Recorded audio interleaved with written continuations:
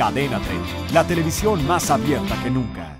La Cruz Roja Mexicana puso en marcha la colecta 2012 en la Ciudad de México y otorgó a Rosalinda Bueso, la esposa de Marcelo Ebrard, el nombramiento de presidenta honoraria de la institución. Al tomar protesta, Rosalinda Bueso comentó que frente a la vulnerabilidad de la metrópoli ante fenómenos naturales es cada vez más necesario el trabajo de voluntarios y personal de la Cruz Roja Mexicana. Posteriormente acercó la tradicional alcancía a su esposo. Primero le dijo a Marcelo, móchate y luego a todos los funcionarios que lo acompañan. Cadena 30, la televisión más abierta que nunca.